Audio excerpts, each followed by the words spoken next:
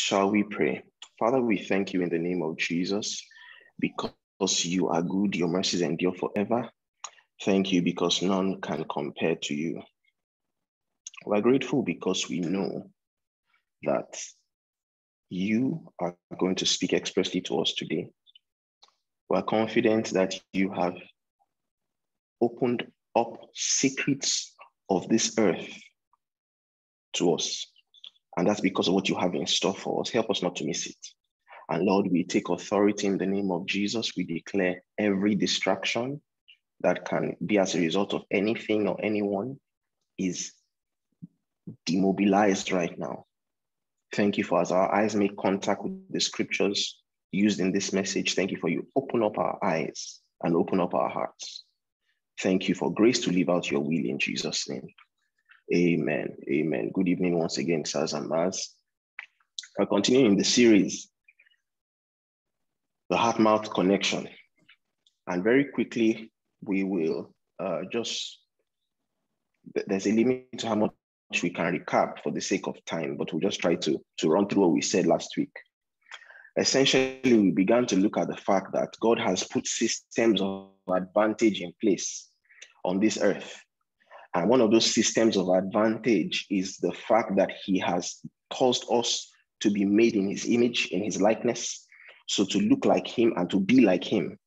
That was what the devil sold to man unknowingly, not knowing that God had already made him in his image and likeness. And imagine buying what you already have. Isn't that the definition of, of a scam? God said, Let us make man in our image, let him look like us and in our likeness. Let, let him have our similitudes. Let him be like us. And the devil came and sold man that, and in essence, man lost that. But thank God for the privilege of being born again, and God is restoring us to this place of authority. And God is teaching us and showing us how we can create. We saw last week that the very first thing that the Bible lets us know about God is that in the beginning, God created.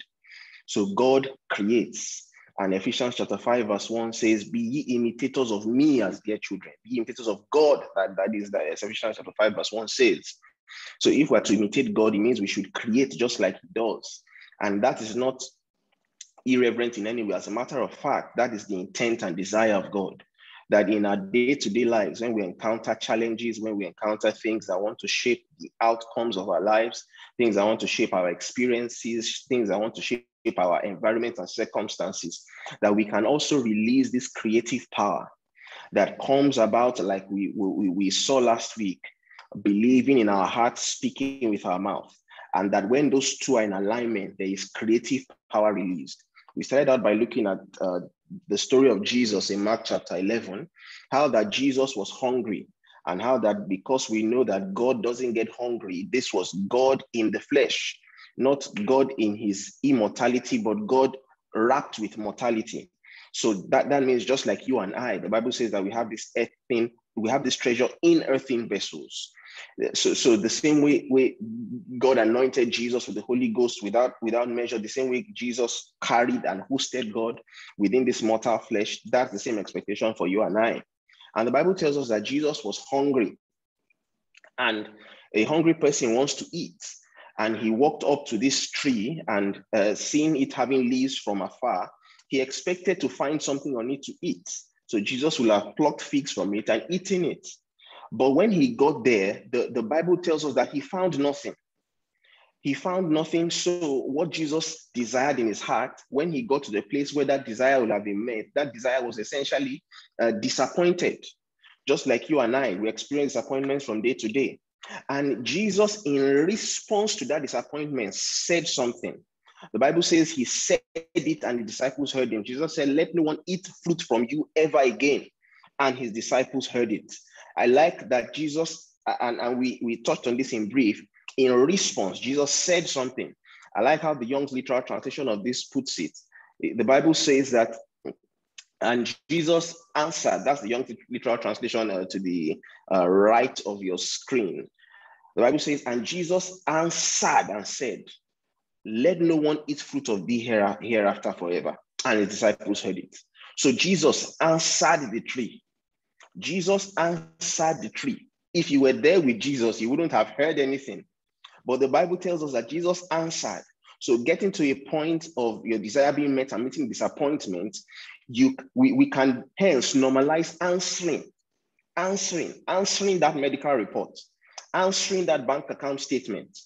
So your bank balance comes back and is not only uh, uh, empty, it's in the negative. You are authorized by God to answer it, not just to think, not just to talk, but to answer in response, the Bible says. And the disciples heard it. Hallelujah. Uh, going on, we went on to see that Jesus, on his way back with his disciples, as they passed by that morning, they saw. So, what Jesus said became visible. They saw that the fig tree had dried up from its roots. And Peter remembered and said, Master, look, the tree you have cursed has withered away. And Jesus replied to them, was have faith in God. We went on to see last week that in the literal, that is essentially have the faith of God or have the God kind of faith, as, as we saw in, in Young's literal translation. And, and you see, what, what, someone may, may, may wonder, you know, what, what's this thing about different transitions here and there? You see, the, the, the uh, a, a, good example is, I think Afrikaans is, is a more literal language, but uh, I hope I got the click right, Sister Zimvu and Brother Pehelo, isiXhosa is a very nuanced language. If you want to run into trouble, send a chat to somebody who is also speaking and use Google Translate, and the person will so laugh or either, will either laugh or get angry because Google is unable to capture the nuances of it. A, a word I learned of recent in my place of work is okusalayo. Okusalayo sort of means uh, uh, eventually or after all is said and done, you know. But if you use Google Translate, okusalayo will tell you the rest. That has a potential to mean a very different thing. So I, am saying this to say that translation um, is something that is that requires revelation. So sometimes taking a step back and looking at how it was put in the original can open up new light to one. So that's why we do this from time to time. So the Bible says, have the faith of God, or in other words, have the God kind of faith. And we went on to, to see in Hebrews chapter 11, verse 3, a place where faith, where, where God, in quotes, uh, where God used faith, or where we saw the demonstration of the faith of God. That's, that's a better way to put it. We saw the demonstration of the faith of God. And the Bible tells us that by faith we understand that the worlds were framed by the word of God. The worlds were called into existence by the word of God. The worlds were commanded by the word of God. So we see that the process of creation was a faith process, and we see the demonstration of the faith of God at work. And like we mentioned earlier, the Bible tells us the first thing about God was that he, he, he created. And just like Jesus, when God was creating, the Bible tells us as is, as is in verse 2 that the earth was without form and void. So there was an undesirable circumstance. It was shapeless, it was formless, and it was without life. The Bible tells us that the Spirit of God hovered upon the waters. So the hovering of the Spirit of God is not a, a guarantee that things will automatically be as we desire them to be. You can cast your mind back to when Jesus was on the boat with the disciples. Jesus was there asleep, and they had to wake him up. Master, are you not are, are, are you not concerned that we can drown in this thing? And Jesus woke up. So we can liken that to praying. They went to Jesus. Lord, look at this situation. Look at this circumstance. It is about to kill me. And Jesus reprimanded them. What did Jesus do? He spoke, Peace be still. And another example comes to mind. Moses, when he was in front of the Red Sea, children of Israel behind him, and Pharaoh's army was closing in on him. You know, he complained to God, ha ha, God, look at this. And God told him, Why are you crying to me? Tell the children of Israel to go forward. So there are many times that we we we pray. Now, this is, and we'll talk about that, you know, if, if God, God granting us help. We are not talking down prayer, but as sons and daughters, people who God has given responsibility on the earth, like we saw last week in, in Genesis chapter 1. God has authorized us as speaking spirits to take authority. So when something happens, we said that Jesus, when he got to the fig tree and he didn't see figs, he didn't say, Father, you see your boy is hungry. You can even hear the sound of his belly. Ah, God provide. He didn't. He spoke. So there are times to pray, and there are times to say. There are times to pray and there are times to say. And God, in creating, said, Let there be light, and there was light. The Young Literal Translation puts it this way. You know, for the sake of time, we'll have looked at so many more scriptures, but we're trying to just run through. The Young Literal Translation captures what is said here as let there be light. It says it more as let light be. Some of that more literal translations, eh, as it's put in the original, will say light be. So God said, light be. And I love the tenses of, of, of Young's literal translation. It says, and light is. If, if, if, you, you just want to do that exercise when you get back home, just look at Genesis chapter 1 and read it in, in Young's literal translation. As a matter of fact, make it a habit of looking at the literal a lot. You will be surprised at the tenses that are in the Bible. Those tenses defy grammar, those tenses defy logic. Those tenses make you see things in, in a new and real and, and fresh light. God said, Let light be. And there was gives the impression that it later happened.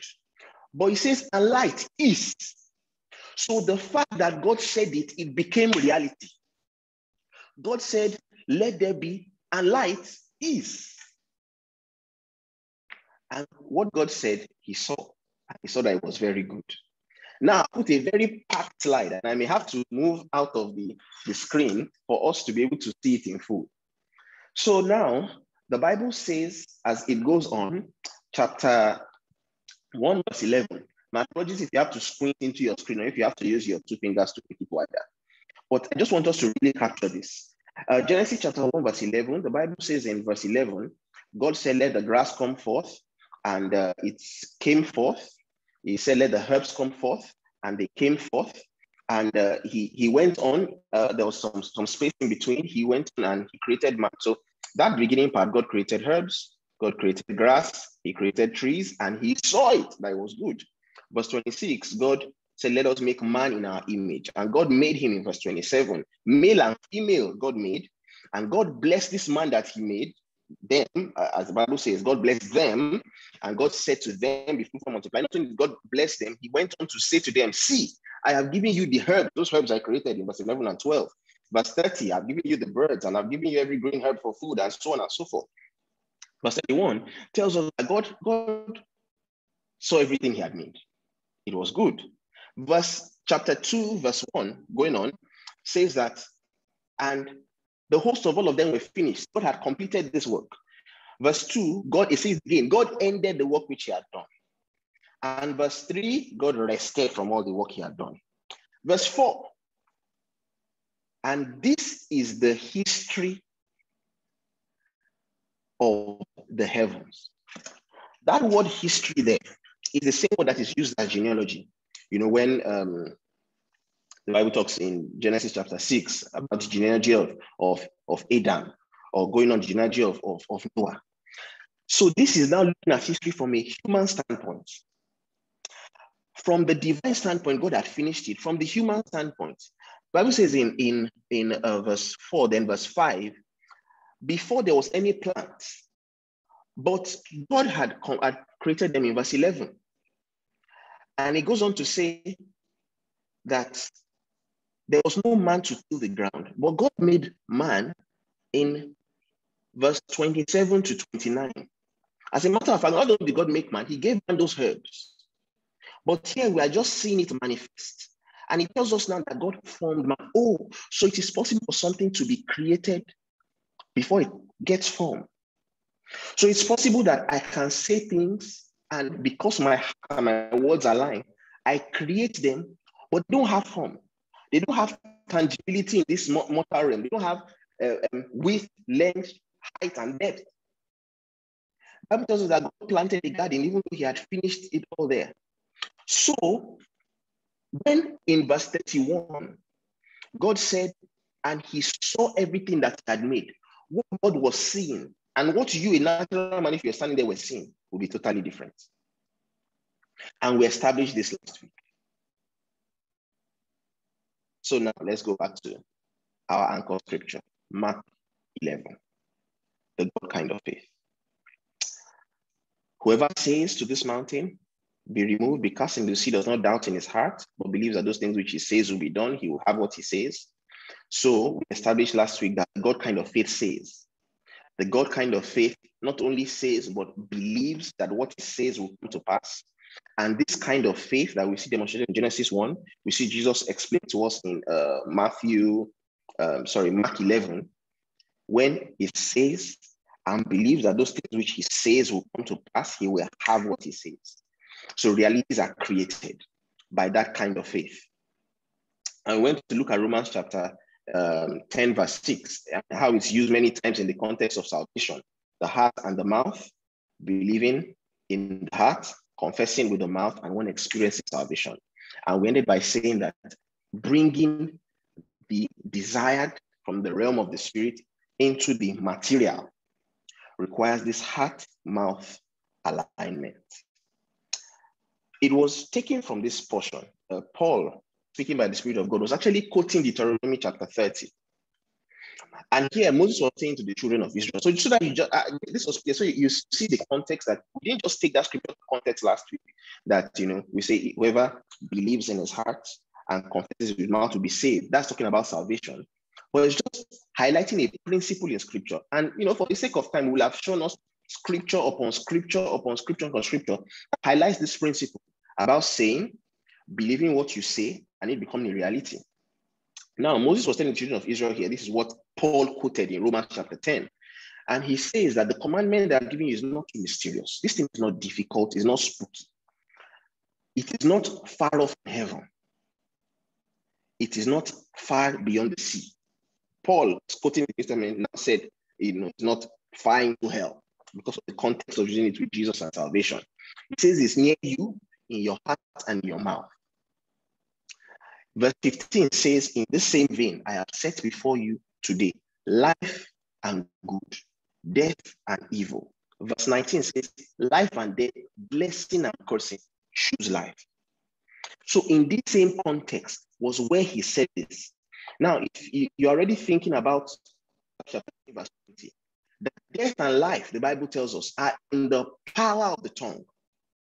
So you see that this confirms the point that believing in your heart, confessing in your mouth will create reality. And it's as serious as death and life. Hallelujah. Now, to what we have to touch on today, which is very brief. And I, I, I believe that this is at the instruction of God. Uh, uh, uh, Matthew chapter 15, verse 8 to 9.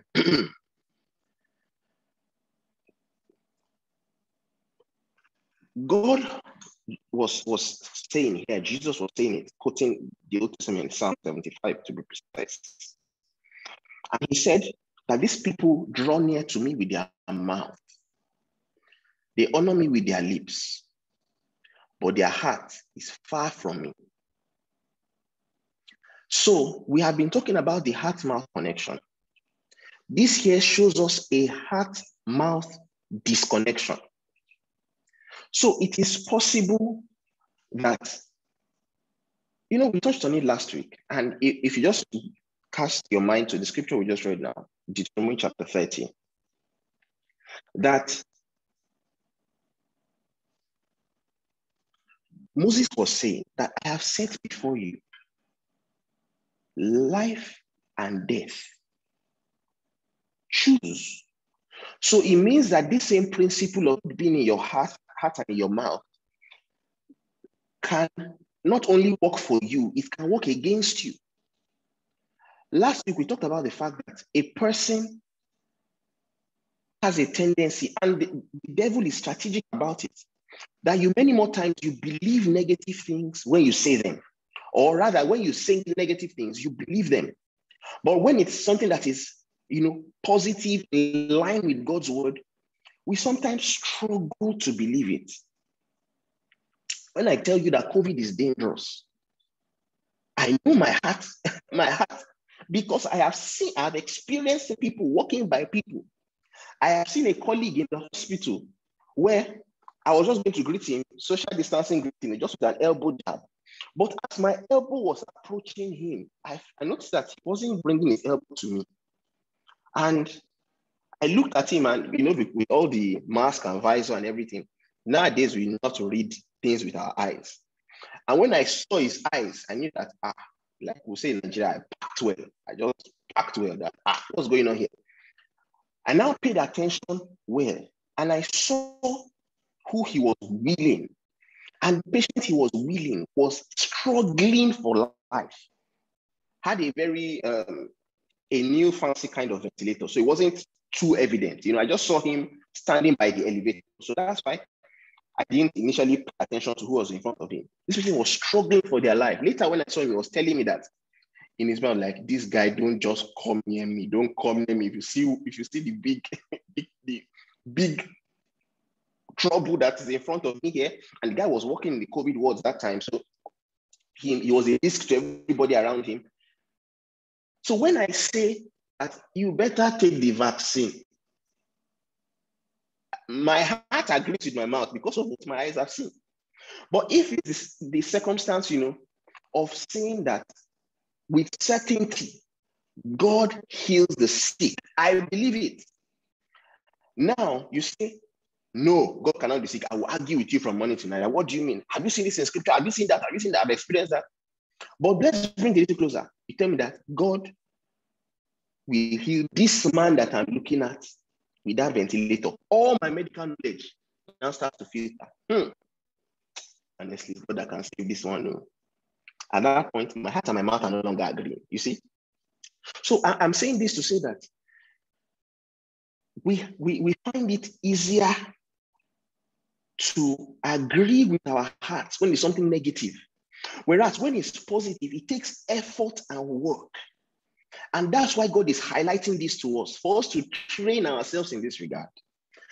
And the tool that God is bringing to the fore today, I believe that after fellowship last week, as I got into my room, those two words came clearly to my heart. It was engaging joy. Engaging joy. And what on earth does joy have to do with all of this that we're talking about? We're talking about believing in your heart, confessing with your mouth. Well, let's see what scripture has to say. Isaiah chapter 12, verses 1 to 3. In that day, you will say, Oh Lord, I will praise you. Though you were angry with me, your anger is turned away, you comfort me. Behold, God is my salvation. I will trust and not be afraid. For yeah, the Lord is my strength and my song. He has also become my salvation. He is my strength and my song. He has also become my salvation. He has also become my salvation. And he goes on to say, therefore, with joy, you will draw water from the wells of salvation. With joy, joy the tool, you will draw water from the wells of salvation. So there are wells of salvation. Thinking about scripture, you, you can think already about Jesus saying that the water I give him, or just what Jesus said to the woman by the well, John chapter 4, the water that I give him will be in him a well. So there are wells of salvation. And the Bible tells us in Isaiah chapter 12, verses 1 to 3, with joy. Joy is the tool that you would use to draw water from this well of salvation. So, in, in times that what you desire is out of reach, if you've ever fetched water before, you, you can see that the water is there.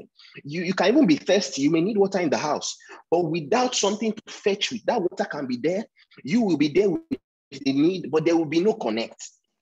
Just like how Jesus could be in front of the fig tree hungry, but the fig tree is there with leaves, but still he is hungry because there are no fruits. Just like how God can, can be uh, present and he is a God who creates, but the world around is null and void. That same way, you can be in the presence of water and be thirsty. But he says, with joy, you will draw water from the wells of salvation. Now, Mark chapter 11, verse 23, like we have seen before, but now, the Bible says that whoever says to this mountain, right, mouth, and does not doubt in his heart, but believes that what he says will be done, what he says will happen. He will have what he says. And look, looking at Hebrews chapter 1, the Bible tells us what, what, what, what faith is. We're talking about the, the, the faith of God or the God kind of faith, excuse me. And it says that this faith is confidence in what we hope for. Now, believing in your heart that what you say will be done. You, you, you, if you want to be realistic, you say, How? How can I be sure and certain that what I say will happen to the point of now believing it? How am I not deceiving myself? I don't have any assurance in quotes, but the Bible tells us that you can have assurance of what you don't see. I like the Amplified Version that says, it is not only the assurance, it is the confirmation. It is the title deed. It is like you've paid it, you have the receipts. It's like receiving the alert on your phone from the bank. You, by receiving that, you can release a good to a person without having seen the cash. The Bible calls faith proof. It is the proof that the things we do not see, we can be convinced of their reality. We can perceive as a real fact the things that are not revealed to the senses. Like we said in Genesis chapter 1, that if you were there with God, if your eyes were open in the natural, what you will be seeing is that the earth is null and void. You will see that darkness is upon the face of the deep, and you will see that God is saying, Let there be, and light be, and light is, which is, as far as I can see, it is darkness. It's not revealed to my senses. Or just like you were there with Jesus, and he was in front of the fig tree, and Jesus said, no man eat fruit from you ever again. And the tree is still standing in front of you. As a matter of fact, the tree can even move in the wind to show you that I'm alive and well. But as Jesus has released that word, as far as is concerned, it is is reality. And Jesus explaining the scenario that happened there was saying that if at that point you are in front of this tree and you say this, you must believe in your heart that what you are saying will be done. That's what you will have it. So Jesus is saying that you to have conviction of things that are not revealed to the senses. And you and I, I'm sure you have been faced with situations where your senses are screaming at you, telling you that is a lie, it will not happen. When your senses are telling you that you have failed, accept it, you have failed. Accept it. This is one time that your God has failed you. Agree. Accept it. That you will not have children. Accept it. The people that don't have children, do they, do they have heads? Accept it. Accept it that this is how you will keep living from hand to mouth. Accept it. But as Jesus answered, as Jesus replied, and by reason of his reply, the next day when they came, they saw that the tree was dried up from the roots. Dried up from the roots. God is specific when, when he with his use of words, dried up from the roots. If something is the root is the place that is closest to the source. So if trouble should start, it should start from the place that is farthest from the source. It should start drying from the leaves and then the branches and then the stem to the roots. But the Bible tells us that from the roots. So Jesus' word went to the bottom of the matter, to the foundation of the matter, and started to take effect. So if you were there, judging just by the sight of your eyes or by the hearing of your ears, you have missed the point. Because you can have assurance, you can have confirmation, you can have conviction of this reality. But you may be here saying that Fantastic. Great, great word. Great word. In fact, yeah, you're shouting and your neck veins are popping out. Good, good, good, good. But it's not happening for me like that. It's a struggle. How do I disregard what I'm seeing? Now, if I want to be churchy, I'll say, no, disregard it and just believe God. Just believe God. And we will end and you will go home. But God has put tools in place to help us. Remember, we said last week that Jesus is God in touch, God who can feel what it feels to be in this mortal body. So, Jesus telling them that was not to leave them hanging, he went on to explain it. Let's see verse 24.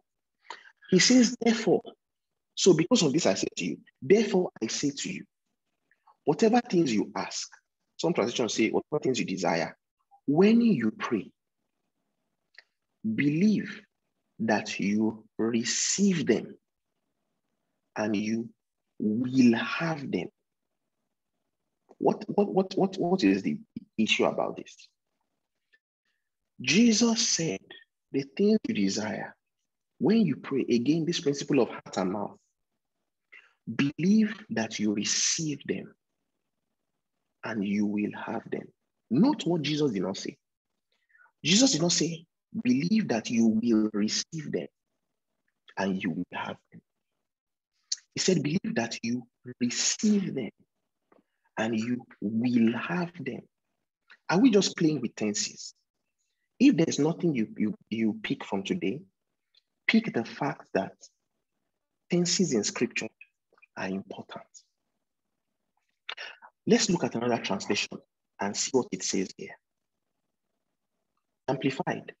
For this reason, I'm telling you, whatever you ask in prayer, believe, trust, and be confident that it is granted to you. Believe that you receive, and then you will get it.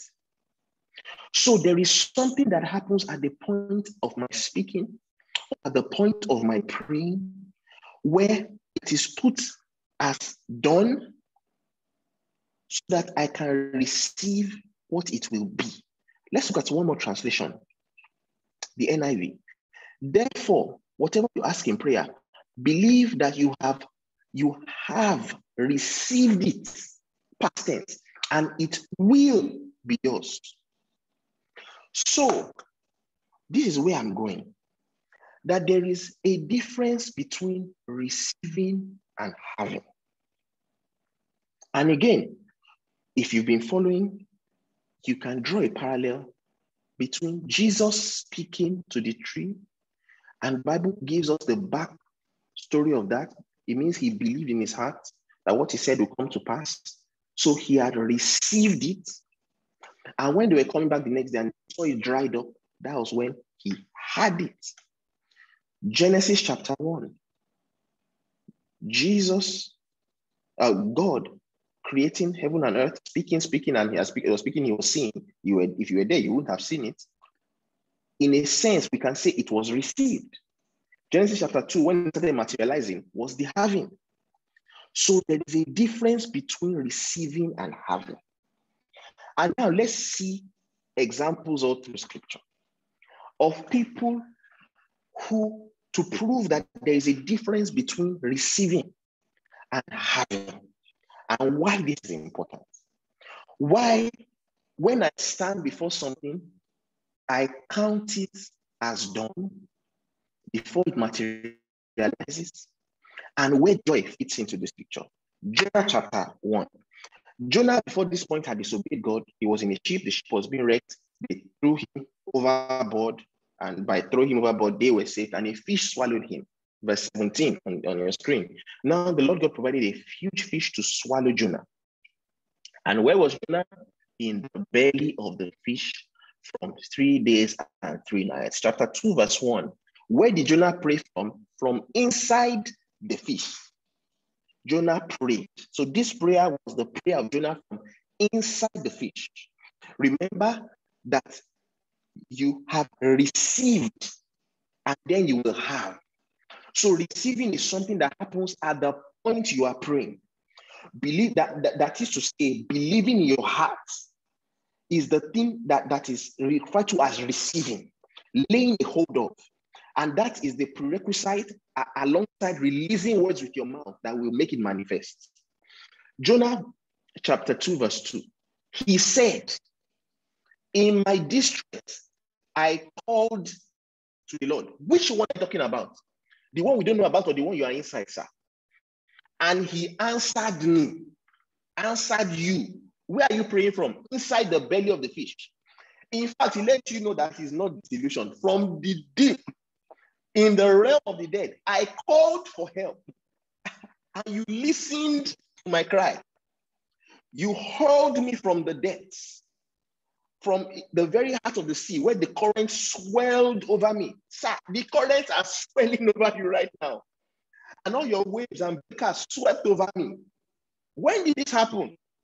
As far as I'm concerned, that's your current address.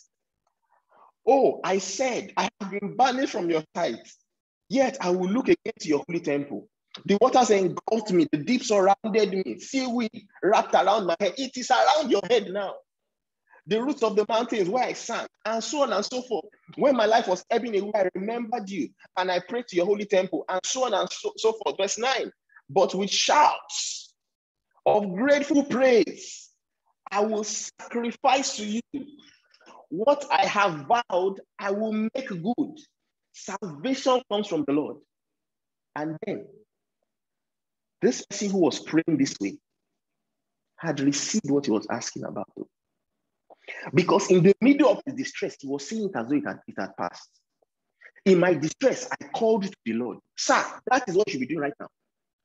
But he's saying it as though it had happened.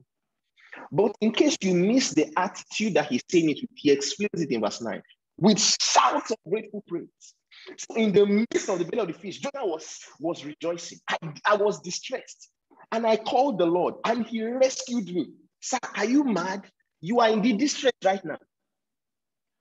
Well, that's what it means to have received.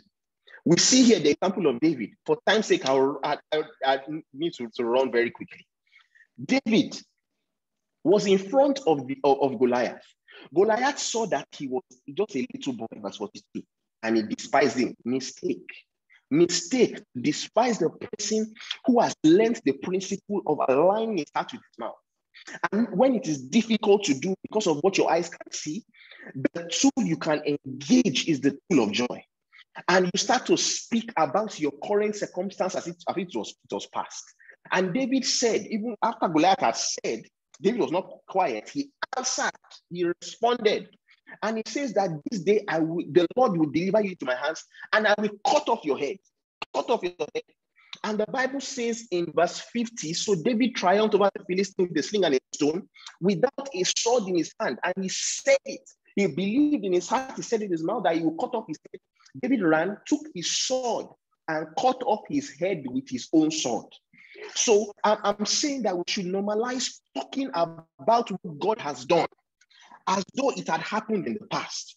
Bible talks about Abraham in Romans chapter 4 that Abraham staggered not at the promise of God through unbelief, but was strengthened in faith. How? Giving glory to God, being fully persuaded that what God had promised he was also able to perform. So you can build persuasion with the tool of joy. You, you can face something that you feel like what I'm saying, I'm just talking. My heart is not connecting in my words. You know what? Take some time out and rejoice. Write it on a piece of paper. Three zero. This is something that I did in, in, in, in my undergraduate days. A particular exam was staring me in the face. There were three papers you needed to pass to move to the next level. And I will write it three zero and I'll put it on the ground and I will dance around it. I will rejoice. I will give praise to the point where it becomes a settled reality in my heart. That as we saw in Hebrews chapter 1, I'm assured I'm confident. I have the title deed. I have received it. It's as real to me as the shirt on my back. And when I open my mouth and release words, because my mouth is aligned with my heart, I am creating realities. If if if if, if you next year we're going to be seven years in, in, in marriage. Our first daughter is going to be four. If you do the math, you will see that there was a period of waiting. And in that period of waiting, the, the one of the last few things I remember was that my, my wife will, around the house, there were things that were written about our children, about our children when they had not seen one, Well, they are about to be children now. Praise God. I remember driving from Ibadan to Iseyin and in the car rejoicing so much in the fact that I was a father. And the only words that could come out of my mouth were me, daddy, me, daddy. I was so excited. It's not just fanaticism, it's engaging the tool of joy to get your heart to accept what God has done. You accept it as done. That like Jonah, you can pray about it in the past tense. The Bible talks about Sarah. Sarah, the, the, the Bible tells us that when, when the angel said, This time next year you have a child, she laughed. She laughed, so she was in unbelief. But her story does not end there. Hebrews 11 11. The Bible says Sarah herself received strength to conceive.